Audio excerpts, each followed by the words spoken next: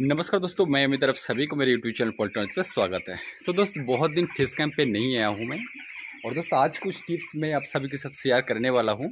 वो है कि किस तरह से विंटर सीज़न में हम लोगों को मैनेजमेंट करना चाहिए जाकि चीक्स का जो रिज़ल्ट हो, वो अच्छे से अच्छा हो।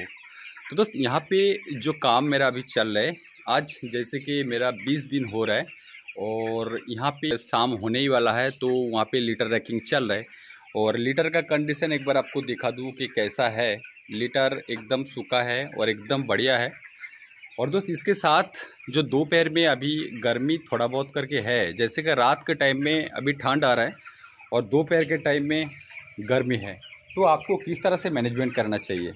दोपहर के टाइम में जो फ़ीड है, वो कम से कम दे के रखिए। क्योंकि विंटर सीज़न में आपको बॉडी वेट का टेंशन ज़्यादा करके नहीं आएगा।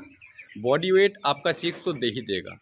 तो आपको दोपहर के टाइम में अगर फ़ीड आप दीजिएगा तो उसके चलते चीक्स थोड़ा सा हाँपेगा और हाँपने के कारण से उसका जो एनर्जी लॉस होगा तो उसके चलते उसका जो फ़ीड का एफ़ प्रॉपर आपको नहीं मिलेगा।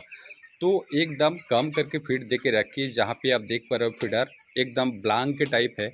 तो इस तरह से फ़ीड आप दे के रखिए और साथों साथ रात के टाइम में जो फ़ीड आप दीजिएगा मतलब दिन में मान लीजिए कि आपका पूरी दिन में दो सौ किलो तक फ़ीड लगेगा तो उस हिसाब से आप रात के टाइम में डेढ़ सौ किलो फ़ीड दे दीजिए।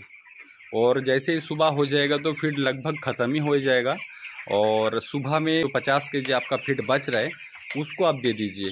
तो क्या हो जाएगा, पचास के जी में आपका पूरा दिन का जो फ़ीड कंजम्पशन है थोड़ा सा घट के रहेगा, इस हिसाब से आपको मैनेजमेंट करना है। इस हिसाब से करोगे तो रिज़ल्ट जो है, जो एफसीआर है एफसीआर आपको सबसे बढ़िया मिलेगा।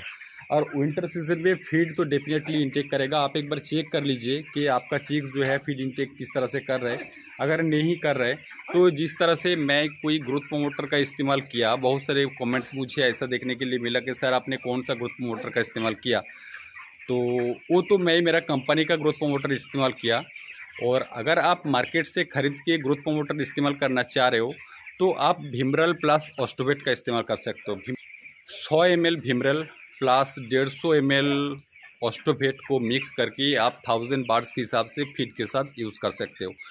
वो बहुत बढ़िया ग्रोथ प्रमोटर है। तो मैं मेरा जो कंपनी का है वही इस्तेमाल किया। वो है ई ग्रो तो यहाँ का चीक्स का एक बार कंडीशन देख लीजिए कि कैसा है। तो इस तरह से चल रहा है। और जितना हो सके स्पेस विंटर सीज़न में कम करके ही दे के रखिए। यहाँ पे देख पा रहे हो स्पेस मेरा जो वार्ड्स है इस बार को, यहाँ पे 1500 वार्ड्स है। से जो स्पेस है, अभी भी थोड़ा सा बाकी है वहाँ पे तो उसको मैंने नहीं इस्तेमाल किया। विंटर सीज़न में यही दिक्कत है, ज़्यादा स्पेस देने से चिक्स इधर उधर भागेगा। तो इस तरह से आपको मैनेजमेंट करना चाहिए। तो फ्रेंड सोचा कि एक वीडियो बना के आप सभी के साथ शेयर भी कर लूँ, जाके आप सभी को पता चले कि किस तरह से जो विंटर सीज़न का मैनेजमेंट होता है, वो किस तरह से आपको करना चाहिए। तो फ्रेंड्स इसी के साथ समाप्त करती हूँ ये वाला वीडियो वीडियो अगर अच्छा लगे तो प्लीज़ लाइक कीजिए शेयर कीजिए, जाके हर पॉलिटी को मेरा सूचना मिल सके, उसका लाभ हो सके। धन्यवाद।